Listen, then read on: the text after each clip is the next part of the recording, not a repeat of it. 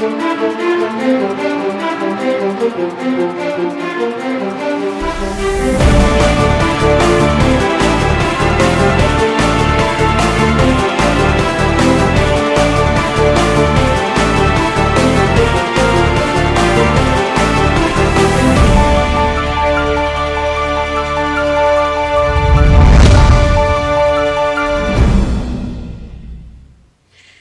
سی و پنج سال پس از انقلاب اسلامی در ایران. آیا سفره مردم رونقی بیشتر یافته یا آنچه را که داشتند پیش از انقلاب کم کم از دست دادند؟ بر سر صنایع نفت ایران چی آمد؟ آیا آنگونه که آیت الله خمینی رهبر انقلاب اسلامی و بنیانگذار جمهوری اسلامی می گفت ایران را از آنچه که است وابستگی بود نجات داده است یا اقتصاد ایران بیش از گذشته وابسته شده است؟ آیا ایران شعن و منزلتی در منطقه به دست آورده یا آنچه را که پیشتر داشته از دست داده است؟ و در عرصه بین المللی 35 سال پس از انقلاب اسلامی ایران به کجا رسیده است؟ در زندانهای جمهوری اسلامی چه میگذرد؟ آیا وعده های آیت الله خمینی برای آزادی بیان و احزاب تحقق یافت یا آنچه که اختناق مینامید دایره گسترده تر یافت؟ پرسش ها بسیار است. در میان می‌گذاریم در انگلستان با آقای دکتر رضا تقیزاده کارشناس امور اقتصادی و تحلیلگر سیاسی و در آمریکا دکتر امیر هوشنگ میبخشید دکتر هوشنگ امیر احمدی استاد دانشگاه رادگرز با شما عزیزان خواهیم بود تا لحظاتی دیگر.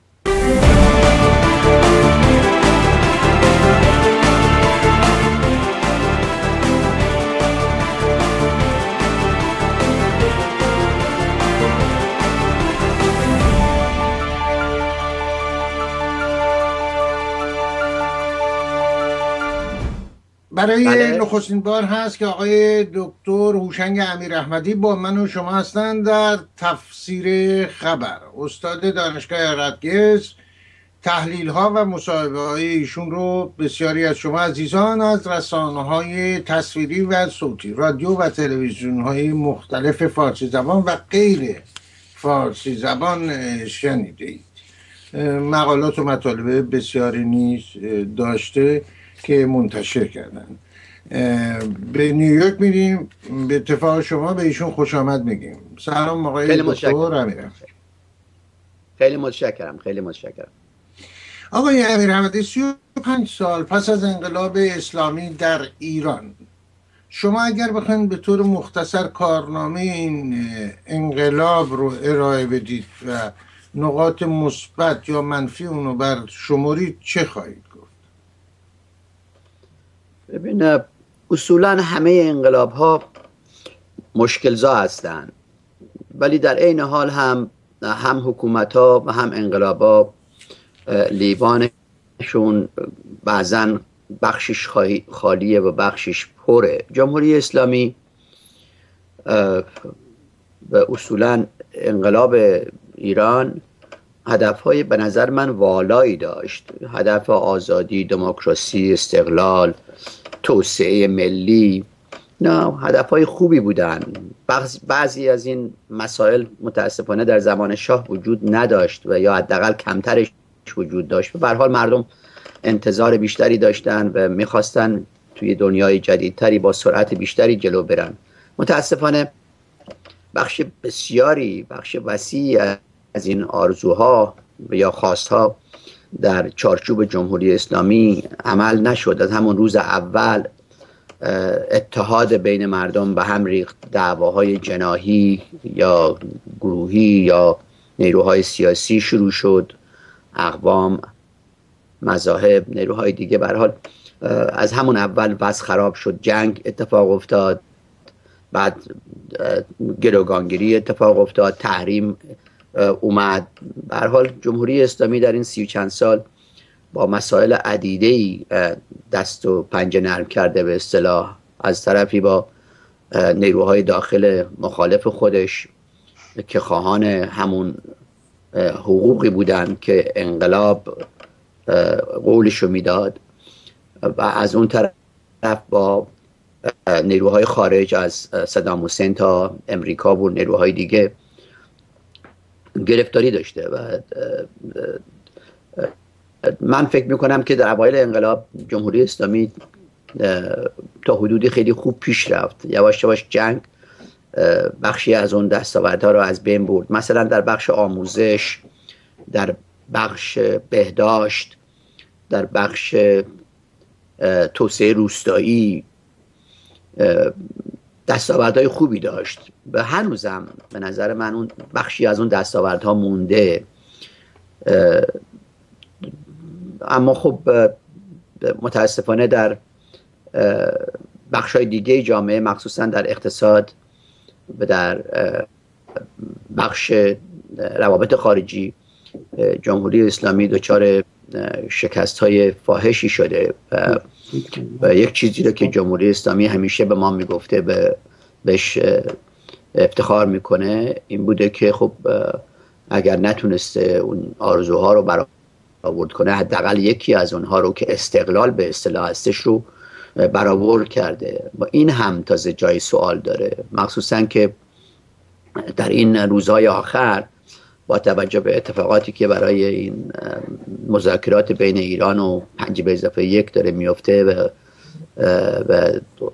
به اصطلاح این توافق نامه که امضا شده نشون میده که شاید در اینجا هم که آخرین سنگر دفاع جمهوری اسلامی از انقلاب اسلامی بود رو هم داره از دست میده.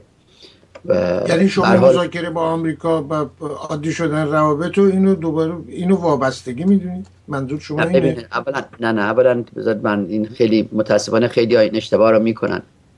نه نه مذاکرات شما که این سنگر استقلال رو از دست میده به خاطر این سندی که امضا کردی یا مذاکراتی. عرض کردم که اولا دو تا نکته است. اولا این توافقی که امضا شده هیچ ربطی به رابطه ایران و امریکا نداره. بله اتمی رو اینجا فقط مسئله غنیسازی جمهوری اسلامیه. و ای, کاش ای کاش این امتیازات رو در چارچوب حل مشکل ایران و امریکا با عادی شدن اون مشکل می‌دادن. ولی خب اینجوری نشده و این امتیازاتی رو که گرفته امریکا گرفته یا اروپا گرفته از جمهوری اسلامی فقط در رابطه با این جریان غنیسازیه. من در این رابطه اعتقاد دارم که ایران بیشتر داده خیلی کمتر گرفته و نکته نکته استقلال هم که من صحبت کردم در این رابطه ببینید الان توی همین قطنامه این اروپا و امریکاست که داره به ایران میگه باید مثلا در رابطه با غنیسازی چه کار بکنه یا نکنه چه کاری رو می‌تونه بکنه چه کاری رو نمی‌تونه بکنه. چند درصد می‌تونه غنی سازی بکنه؟ در کجا می‌تونه غنی سازی بکنه؟ تا چه اندازه می‌تونه غنی سازی بکنه؟ چند کیلو اورانیوم غنی شده خواهد داشت؟ می‌تونه داشته باشه؟ ایران دراش باز الان. آژانس به بله. انرژی هسته می‌تونه هر جای کشور رو بگرده. خب من اینا رو خیلی هم استقلال نمی‌بینم در این رابطه. فکر بله. می‌کنم که به حال یه امتیاز که متاسفانه داده شده و حالا باید ببینیم چی میشه. مهمان دیگه برنامه ما آقای دکتر رضا تقیزاده هستن که نیازی به معرفی بیشتری جز نام و چهرهشون ندارن. سلام به شما آقای دکتر تقیزاده. سلام به شما آقای چالنگی و به میهمان شما آقای دکتر امیر احمدی.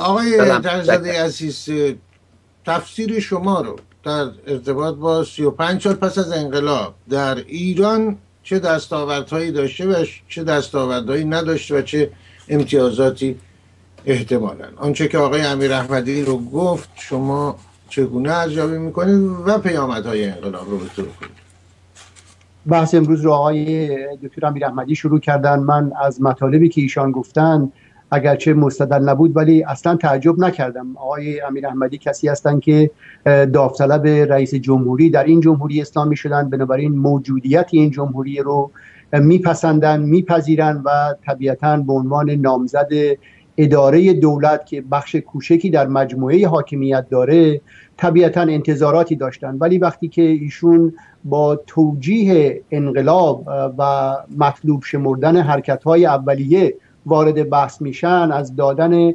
حتی یک مورد مثال هم پرهیز می‌کنن که در چه زمینه ای واقعا انقلاب از 34 سال پیش تونست تفاوت مثبتی نسبت به اونچه که میراث خورده بود و به ارث گرفته بود باقی گذاشته. در مورد روستایشون به زبان گفتند آیا به غیر از انتقال بخشی از ثروت شهری به روستایی و کشیدن راه های درجه چهار و پنج که با هر باران شسته میشه آیا جمهوری اسلامی در سالهای بعد از انقلاب کمترین کاری کرده که قابل مقایسه با شرکت های روستایی باشه قابل مقایسه با سپاه بهداشت باشه و قابل مقایسه با رشد کشاورزی و مکانیزه کردن کشاورزی پیش از انقلاب در مورد ورشکستگی اقتصادی ایشون حتی وارد بحث هم نشدن.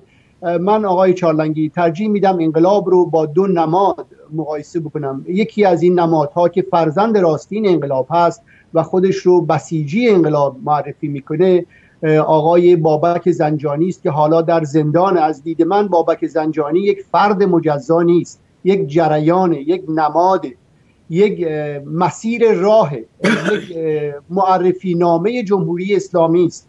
یعنی کسی که در کوتاه مدت ثروت خلق رو با دلالی از جمع به فرد منتقل می‌کنه. واسطه گریز از قانون نماد مخالفت با قانونهای بین المللی و محدودیت جهانی است و تنها با اجازه رئیس دولتی که آقای احمدی دکتر احمدی می‌خواستن جانشینش بشند برای دور زدن قانون در داخل و خارج از همه ابزارها و امکانات مردم سو استفاده می‌کنه و در انتهای راه هم جای او با همون مکانی ختم میشه که امروز افتد و دانی.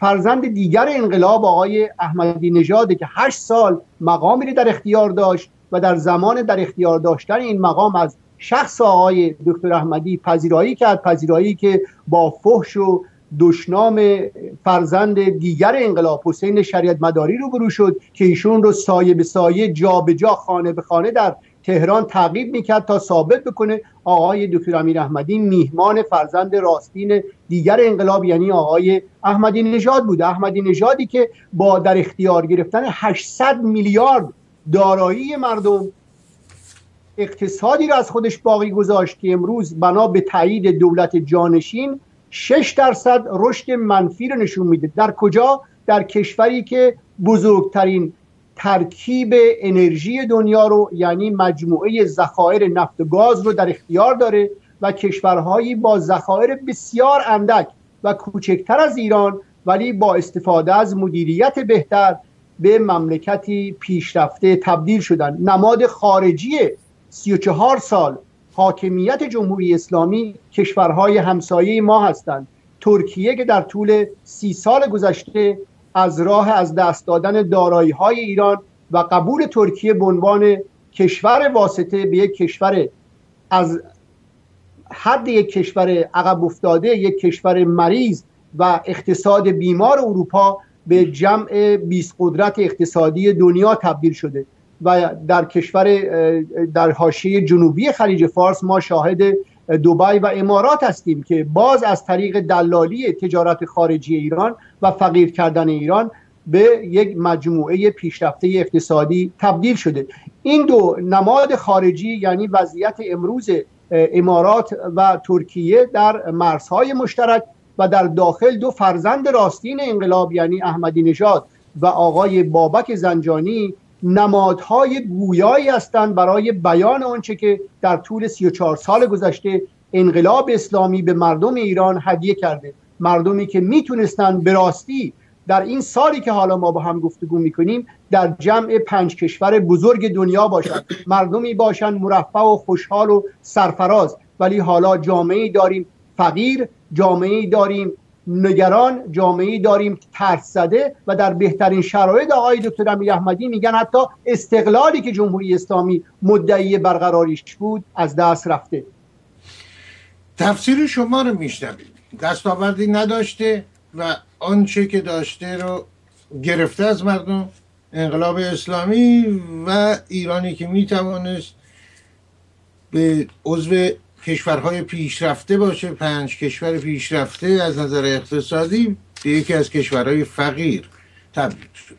علاوه بر اونچه که شما آقای امیر احمدی گفتید و آقای دکتر تقیزاده آقای حسن روحانی در دیدار دیروز خودش از وزارت اطلاعات وزارت اطلاعات رو هم در سمین انقلاب نامید.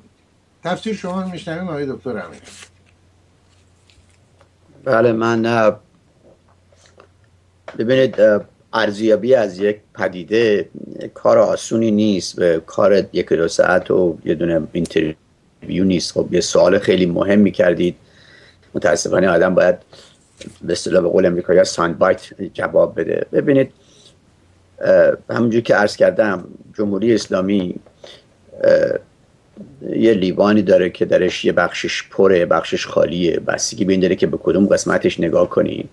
واقعیت ایشون آقای تغییزاده منظورشون این بود که شما در زمین نیمه پر هیچ نمونه ارائه نداد. ببین عرض کردم من چرا دادم؟ گفتم گفتم در بخش آموزش خب الان ایران مثلا بیش از 250 دانشگاه داره. تمام شهرهای کوچک کشور دانشگاه دارن. من نمی‌دونم چجوری چی, چی رو باید بگم. من عرض کردم تو بخش آموزش پزشکی در بخش بهداشت بله. رشد خوبی کرده. در بخش به اصطلاح سواد آموزی ایران خیلی رشد کرده. ایران الان 80 خورده درصد ملتش با سوادن. 67 8 درصد زناش با سوادن. 65 بله. درصد دانشجوهای دانشگاه های ایران زنن. دخترها هستن.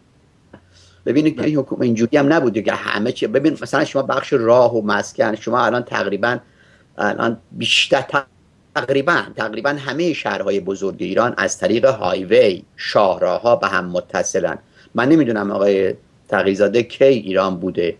من هر سالی که دو بار میرم و. می‌بینم و میشنفم واقعیت اینه که ایران خب کشوریه که همون که خود آقای تقیزاده هم به درستی گفتن خیلی باخته. منم قبول دارم که ایران باخته. متاسفانه انقلاب ها معمولا همیشه کورن. و اتفاقاتی بله. که در چارچوب اونا میفته اکثرا مثبت نبودن. ولی در این حال هم انقلابا رو نمیشه گفت همه چی رو از دست میدن و یا جمهوری اسلامی هر کاری کرده از بین رفته و ایران به اصطلاح به یک کشور مخروبه تبدیل شده. واقعیت این نیست. اقتصاد ایران خیلی بده.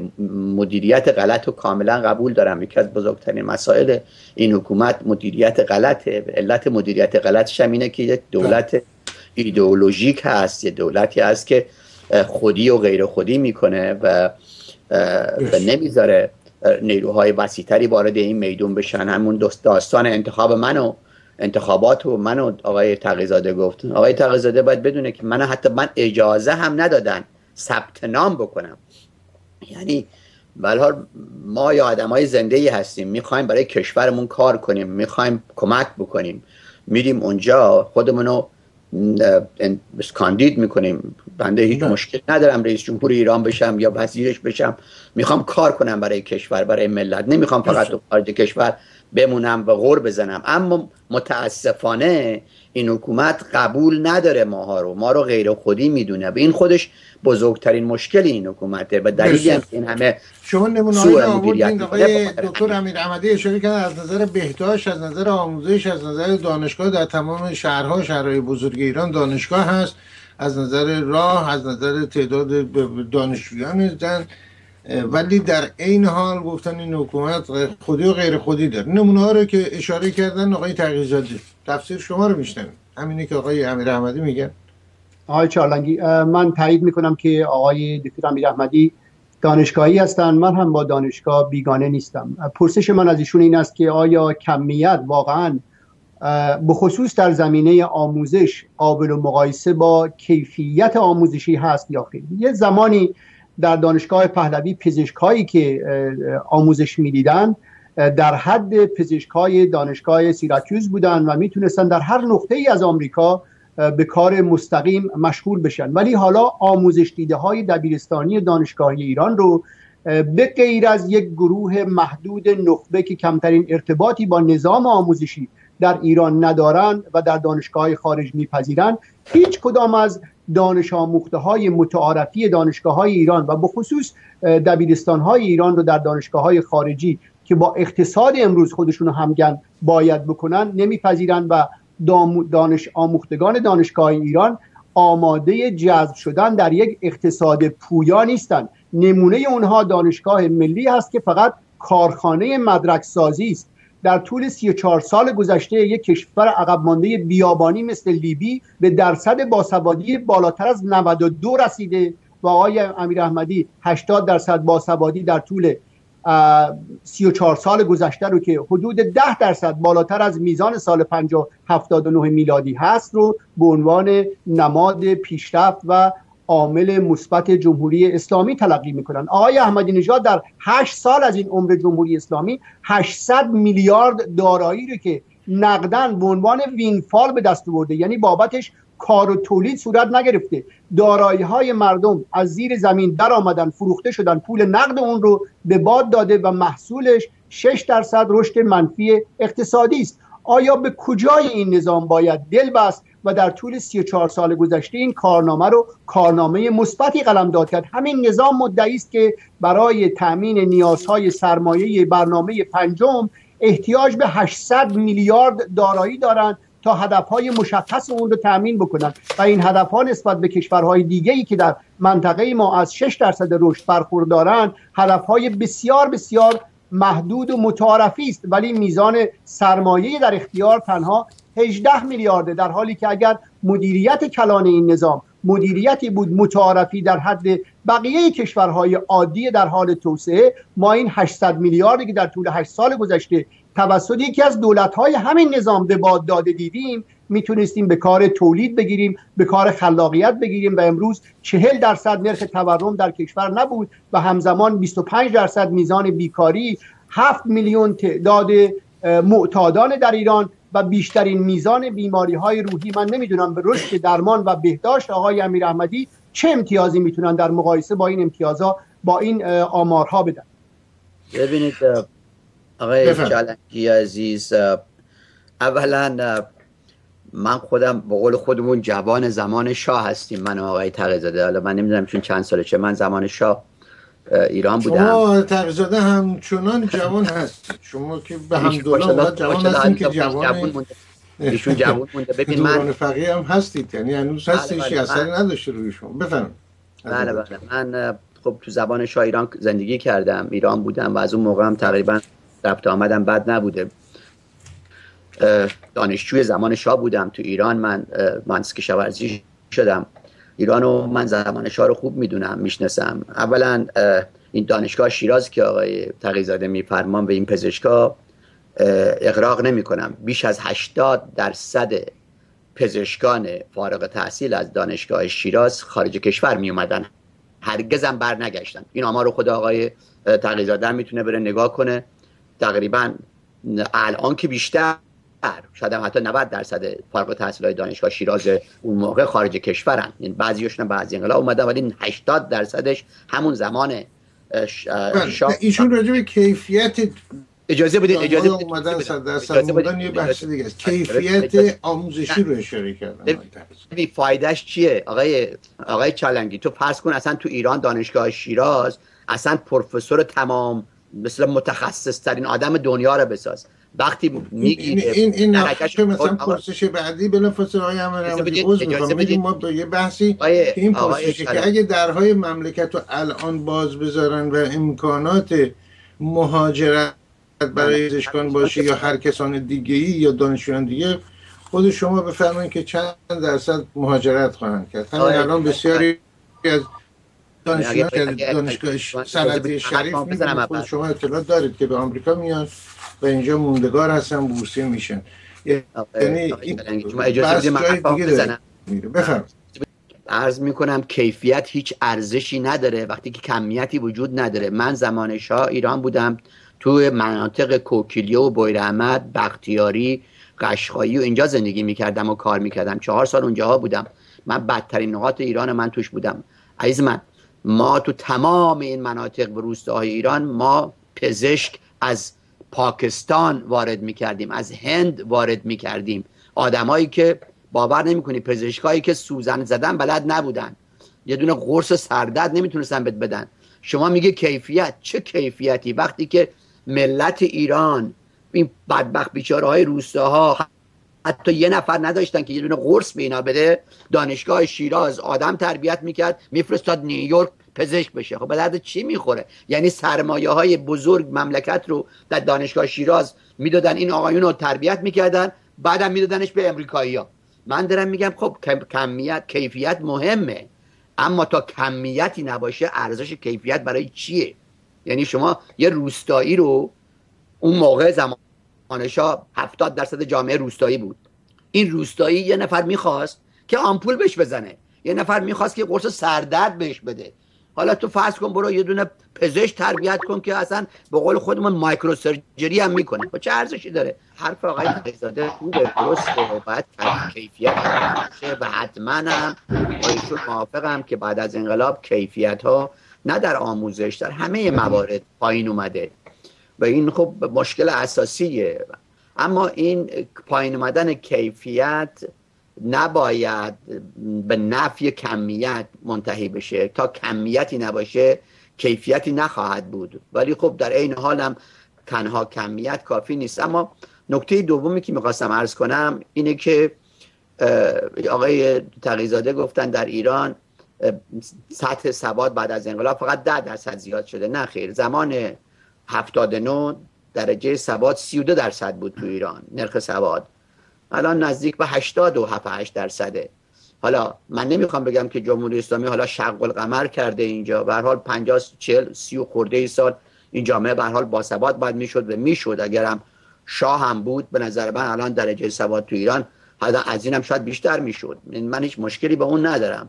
سر قضیه نفت و اینا خب زمان شاه ما 5 6 میلیون بشکه نفت در روز صادر می‌کردیم. یعنی چی؟ تولید می‌کردیم. 4 میلیون خورده ای صادر می‌کردیم. الان یک و دو میلیون صادر می‌کنیم. خب به حال حکومتی که با کمپانی های نفتی و دنیا دعوا شد و به حال وضع نفت ایران هم بسیار بده. ولی به حال می‌خوام بگم که شما باید این جریان رو ببینید. یک جور دیگه آدم همیشه باید نگاه کنه. یعنی همونچه که عرض کردم همیشه نباید کمیت رو تخته کرد به خاطر کیفیت یا کیفیت رو نادیده گرفت و یا اینکه آمار ارقام رو واقعا اونجور که نیستن ارائه داد. در این حال هم اعتقاد دارم همونجوری که عرض کردم جمهوری اسلامی کارنامه خیلی خوبی نداره. بنده یکی از منتقدین اساسیش همیشه بودم هستم. همون برنامه عملمون برای کاندیداسی که آقای تقیزاده در موردش صحبت کردن ایشون اگه بخونن می‌بینن که من یه نقد اساسی بله. دارم. و در این حال برنامه برای اجرای کار دارم. یعنی من آدم عملگرایی ام واقعبینی ام. بله. و سعی کنم کمک کنم. فقط ایراد نه انتخابات آینده این برنامهتون با جزئیاتش بتونیم درباره صحبت کنیم حتما حتما درباره برنامه انتخاباتی آقای دکتر امیر احمدی صحبت خواهیم کرد. منتها اجازه بفرمایید در همین مورد که فرمودید و نمونه های آوردید مجددا آقای ترزاده ببینیم نظرشون زمینه صحبت کردیم آموزش و ما مطالب آقای دکتر امیر احمدی رو در مورد ارتباط کمیت و کیفیت شنیدیم و به اعتراف خود ایشون فارغ تحصیلان دانشگاه پهلوی شیراز در حدی بودند که در بهترین جوامع دنیا و بهترین مراکز دانشگاهی دنیا جذب می شدن به راحتی مشغول کار می شدن ولی ایشون از یک آمار استفاده شاید نچندان درست کردن و اون میزان آمار مهاجرت گروه تحصیل کرده از ایران بود که پیش از انقلاب رو با امروز مقایسه کردن. مهاجرین مهاجرت مغزها در ایران الان یکی از بالاترین میزان مهاجرت ها در دنیاست و اون که شما هم مورد اشاره قرار دادید اگر موانع امروز برداشته بشه میزان مهاجرت مغزها از ایران بسیار بسیار رشد زیادتری خواهد داشت از اون که حالا امروز شاهد هستیم. در زمینه نفتیشون اشاره کردن ایران دقیقا در 34 سال گذشته روزانه 6 میلیون بشکه تولید نفت داشت و بیش از نزدیک 5 میلیون بشکه صادرات نفت ایران بود در حالی که قیمت هر بشکه نفت بین 12 تا ده تا دوازده دلار بود. با این ده تا دوازده دلار ایران سریعترین رشد سرمایه گذاری خارجی در تمام دنیا در اختیار داشت و بنابر آمار سازمان ملل این میزان رشد بیش از 14 درصد بود. میزانی به مراتب بالاتر از رشد سالانه اقتصادی کره و ژاپن. با همین دارایی در فاصله کمتر از ده سال ایران قوی ترین نیروی نظامی دنیا رو در منطقه یکی از پنج نیروی نظامی بزرگ غیراتمی دنیا و قوی ترین نیروی دفاعی منطقه رو در اختیار خودش داشت.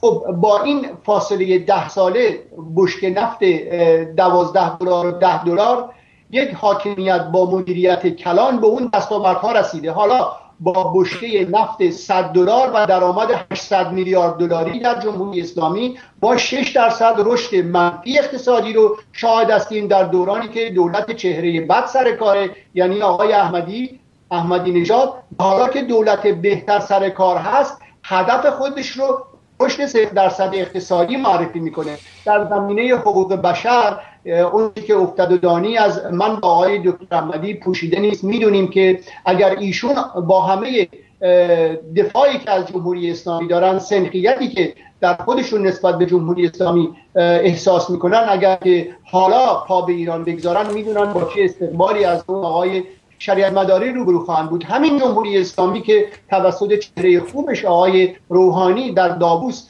دعوت می‌کنه از سرمایه گذار خارجی از سیاست مدار خارجی و در تهران پذیرایی می‌کنه از وزرای خارجه کشورهای مثل سوئد یا پرتغال و غیره.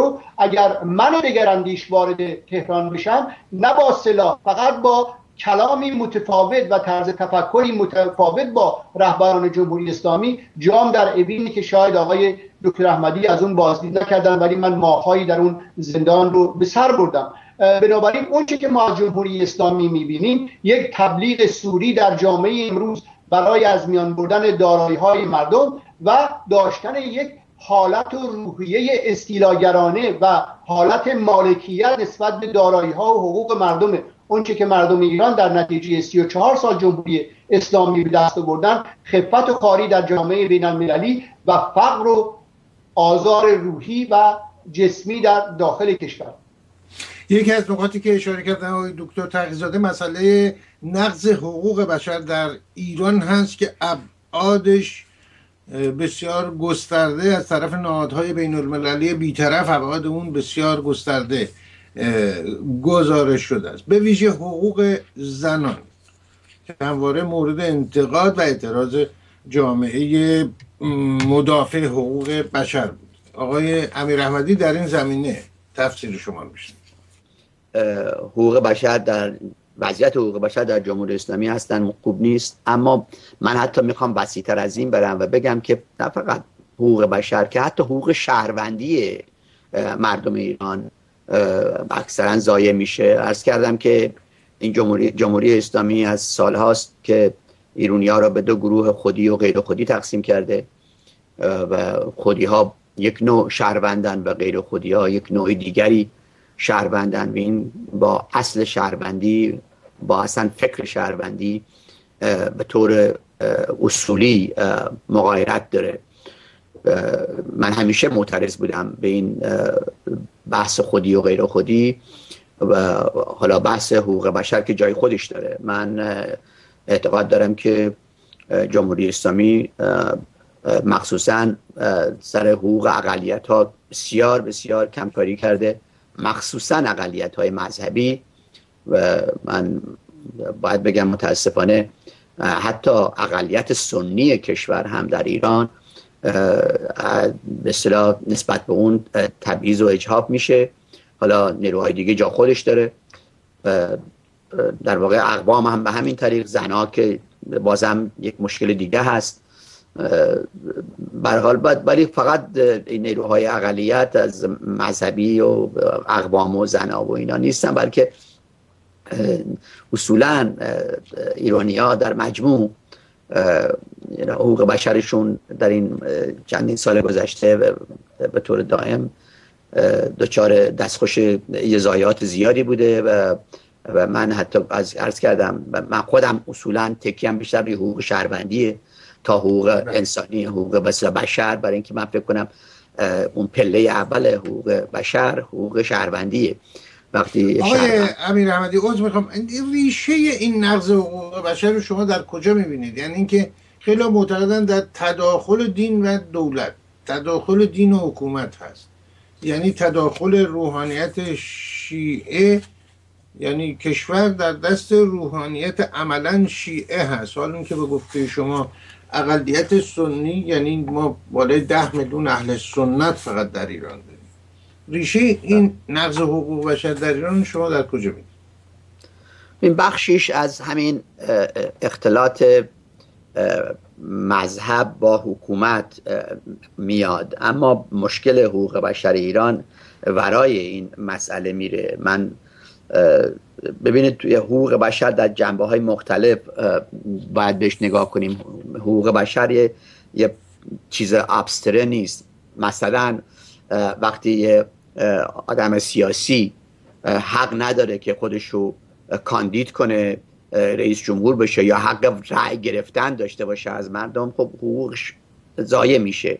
یک ارز کنم که وقتی یک کسی که سنیه یا یه مذهب دیگه ای داره و به صرف اون مذهب نمی‌تونه یه مقام دولتی داشته باشه حقوقش ضایع میشه. از اون طرف جوانی رو که کار نداره و بیکاره حقوق شهروندیش و حقوق انسانیش ضایع شده. کار شغل بخشی از حقوق بشر هست. یعنی اون حق یک انسانه که کار داشته باشه و دولت حقشه وظیفشه که این کار رو ارائه بده. در بخش فرهنگی در بخش اجتماعی وقتی که یه زن نمی‌تونه تصمیم بگیره چجوری لباس بپوشه حق شهروندیش و حق انسانیش ضایع میشه. به حال می‌خوام بگم که ما باید این بحث حقوق بشر رو بیشتر باز کنیم و جنبه های مختلفش رو ببینیم و ببینیم که کجاها با چه مشکلی در این رابطه مواجه هستیم. برای اینکه آقای چالنگی فقط ایراد کردن کار رو درست نمی‌کنه. متاسفانه نه مسئله ایراد نیست. مسئله شناسایی بیشه است. یعنی مثلا شما رو نمیگم. که در ایران مثلا به شما جوان نمی‌تونه چه لباسی مختار نیست لباس نوع لباسش انتخاب کنه می‌خوایم ببینیم علتش چیه. و بله. ایراد گرفتن نیست. نه نه نه. یعنی اصولا نه. شما رو کوتاه بفهمید چون آقای تغییرزاده منتظر نه می‌خوام بگم که ما ایرونی ها اصولا خیلی خوب سر تجزیه تحلیل وقت زیادی می‌ذاریم سر سر ریشه یابی کارهای خیلی خوبی می‌کنیم. متاسفانه روی راه حل میمونیم.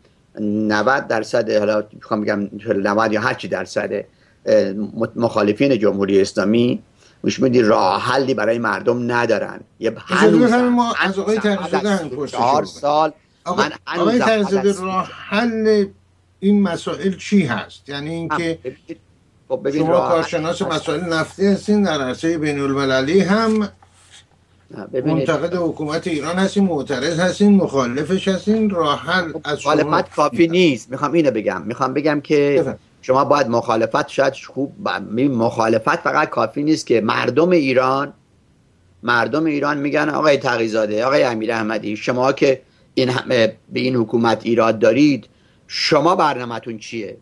من هیچ برنامه ای رو از هیچ نیروی سیاسی یا آدم سیاسی که رو میز برای ملت ایران باشه ندیدم که بگه آقا من اگر همین آقای امیر احمدی اجازه بفرمایید من این پرسش از آقای تغییرزاده و بعد از خود شما خواهم داشت که آقای تغییرزاده گرامی برای وضعیت موجود که در ایران هست و مسائلی هست ایران چه راهی رو باید بره که جوونش آینده روشنی در برابر خودش ببینه؟ بانوانش از حقوق شایستشون برخوردار باشن درآمدهای ملی صرف بهداشت آموزش و رونق سفره مردم باشه کشاورزی رونق پیدا کنه صنعت. چه راهی رو باید بره؟ آیا باید بسپرش دست یه ولی فقیه دیگری؟ یا یک روحانی ملای شیعه دیگری؟ یا نه چه باید بکنه؟ آقای چارلنگی من رهبر سیاسی نیستم. کار من تحلیل سیاسی. از نظر من یک من یک شهروند عادی هستم و مثل آقای دکتر امیر احمدی نامزد رئیس جمهوری هم هرگز نبودم و نخواهم بود.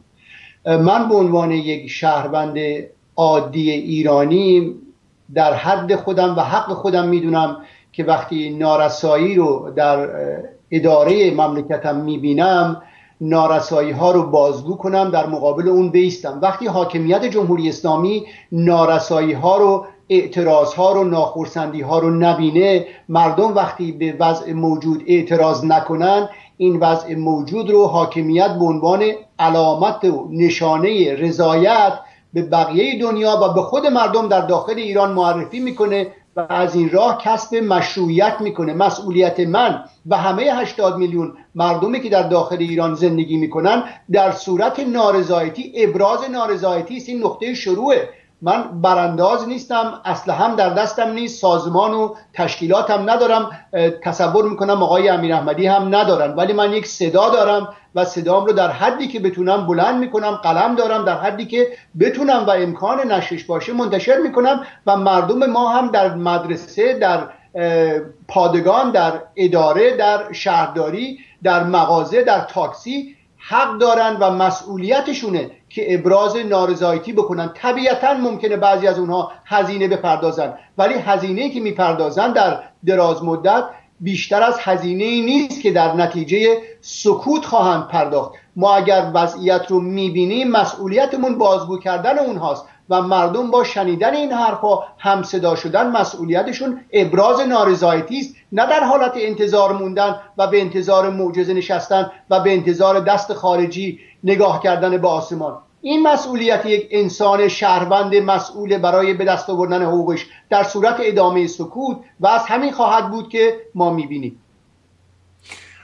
آقای امیر احمدی شنید محبت کنید کوتاه بفهمین بله باز همون ریشه است. یعنی اینکه چرا حکومت ایران حتی نظر یا مثلا نامزدی شخصی مثل شما که نظر مخالف برانداز, برانداز نیستید همراهی می‌کنید در مواردی که فکر می‌کنید مثبت حکومت ایران شما هم تحمل نمی‌تونه بکنه. ریشه کجاست که حتی احزاب دیگه رو حتی اهل سنت رو هم نمی‌تونه تحمل کنه. با قضیه چیه؟ آیا با حکومت دینی میشه به سرانجامی درست در ایران رسید؟ ببینید من با نظر آقای تقیزاده موافقم که باید حرف زد صدا رو بلند کرد نقد کرد سکوت نکرد.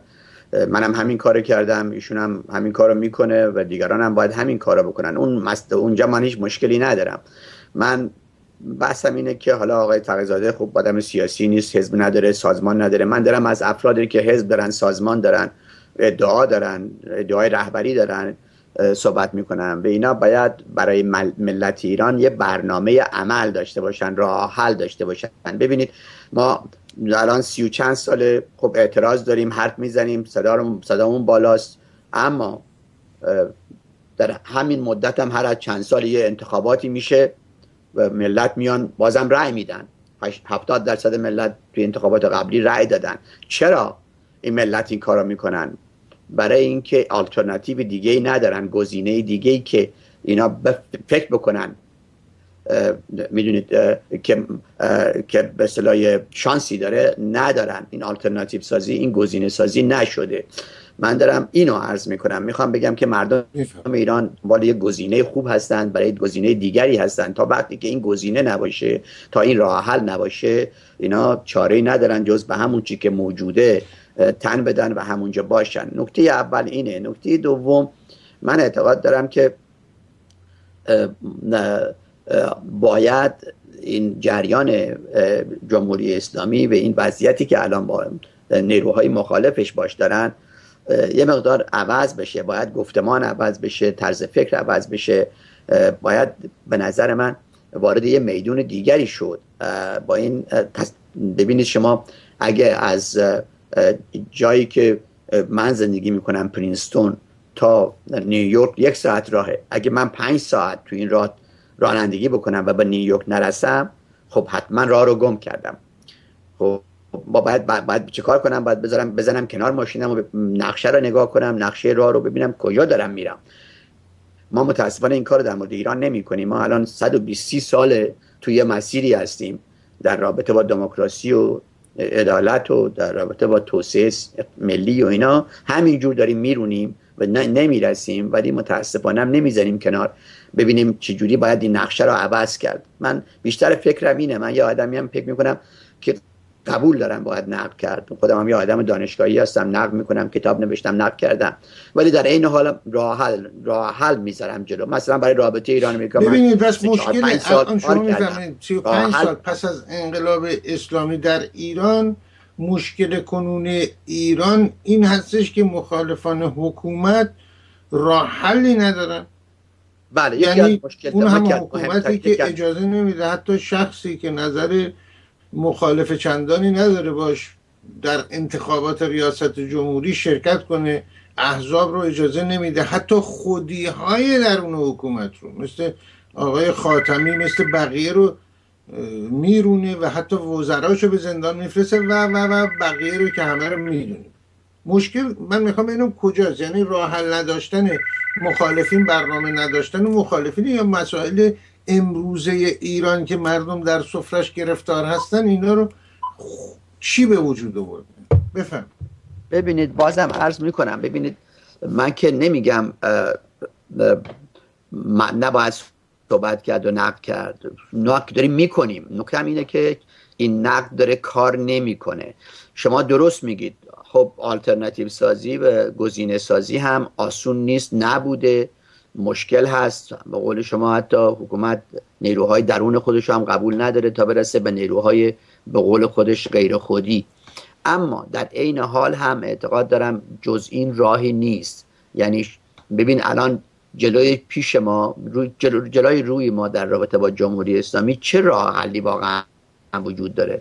یه راه حل براندازیه که خود آقای تقیزاده میگه من حلش نیستم بندم حلش نیستم.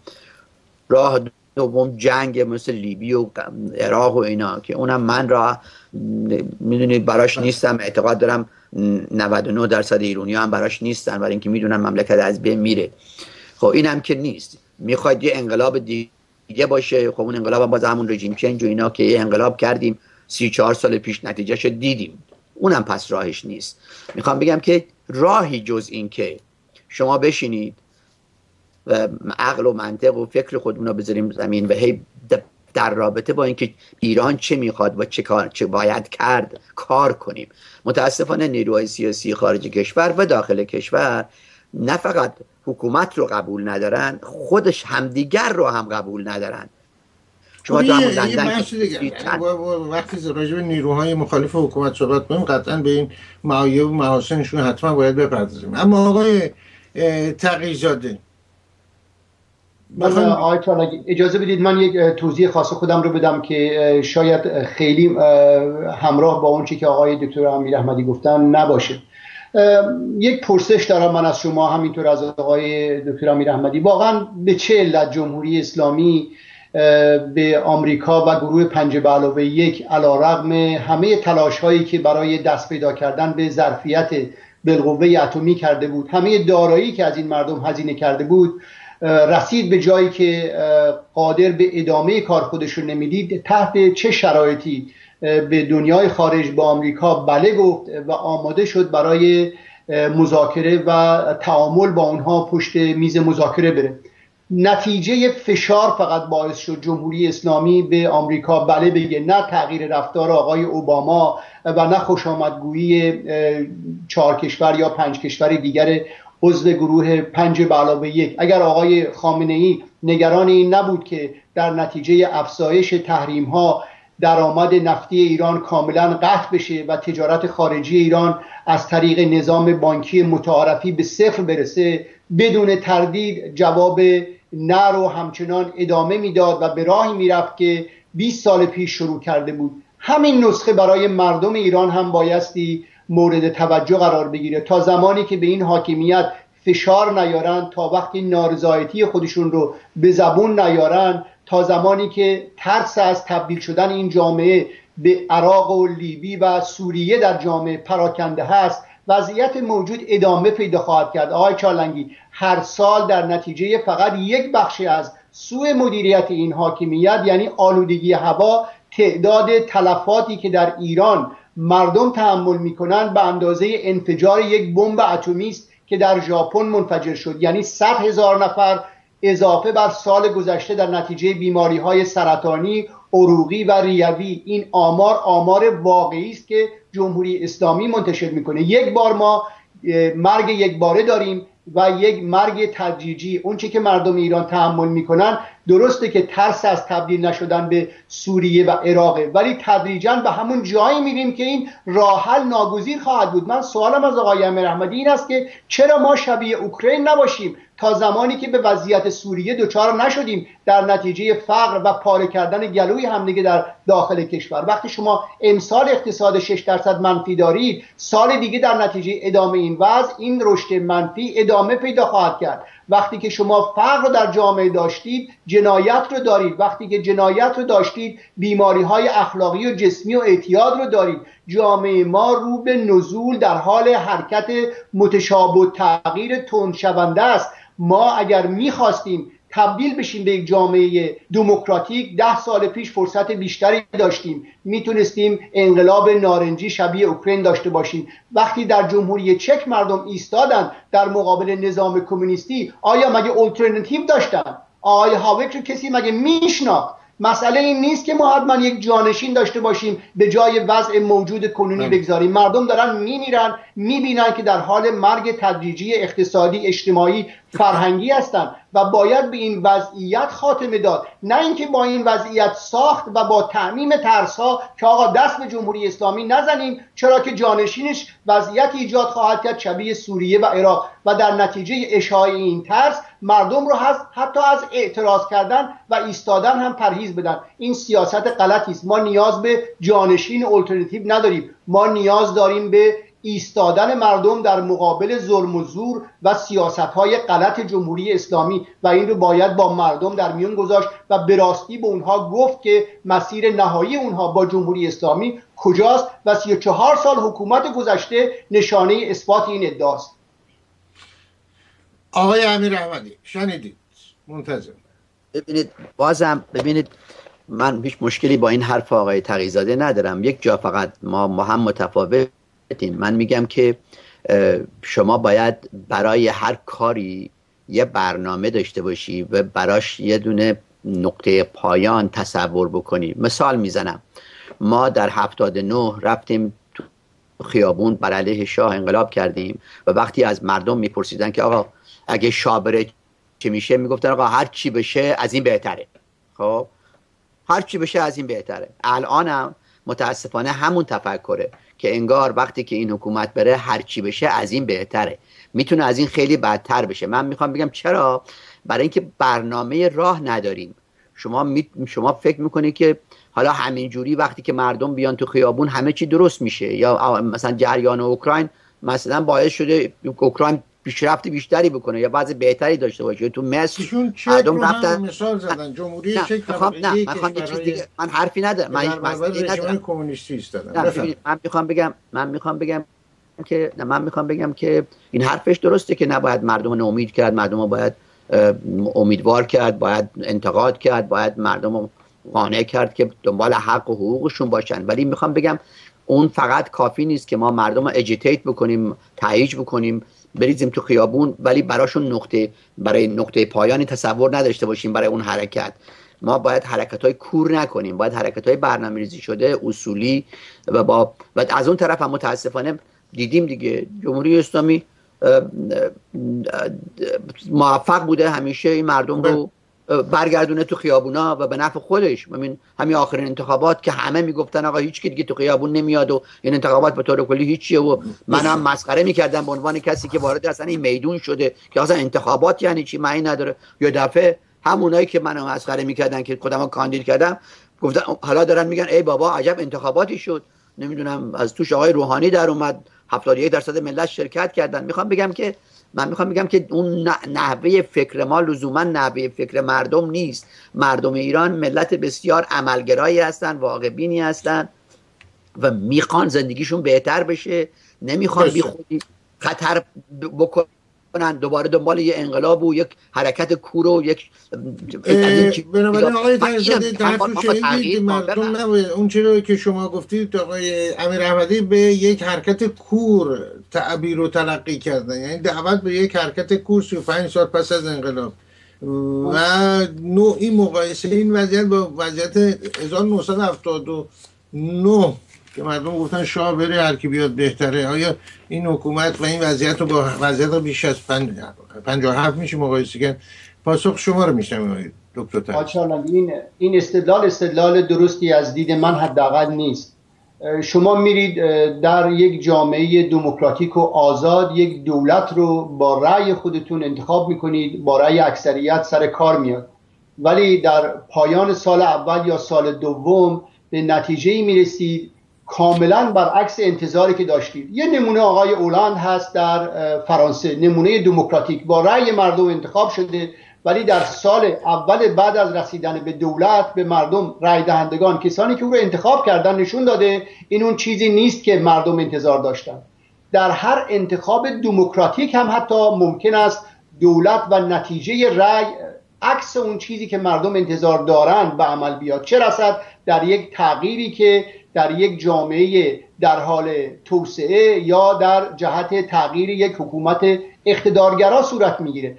اگر ما در مقابل جمهوری اسلامی باید بیستیم تنها به این علت نیست که صد درصد مطمئن باشیم جانشین این جمهوری یا این حکومت جمهوری نما جانشین است بهتر از اون.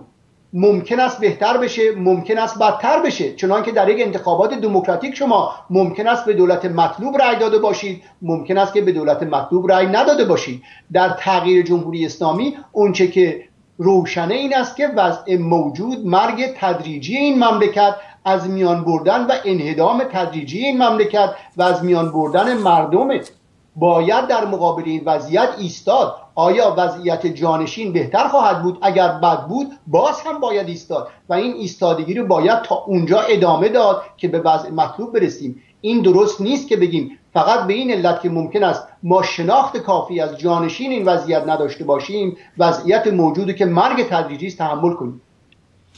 سپاسگزار هستم متاسفانه به پایان برنامه رسیدیم. با سپاس از شما آقای دکتر رضا تقیزاده دزیز و آقای اوشنگ امیر احمدی گرامی. با سپاس.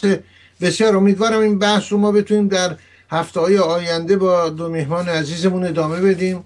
گفتگو بکنیم. نقطه نظرهای مختلف رو بشنم سپاس گذارم خیلی مشکل به پایان این برنامه می‌رسیم. با یادآوری و اشاره به این موضوع که بسیاری نیز معتقد هستند در ایام به خصوص سالگرد انقلاب با اشاره به وضعیت انقلاب به دوران پیش از انقلاب که انتقادهایی نیز داشتند.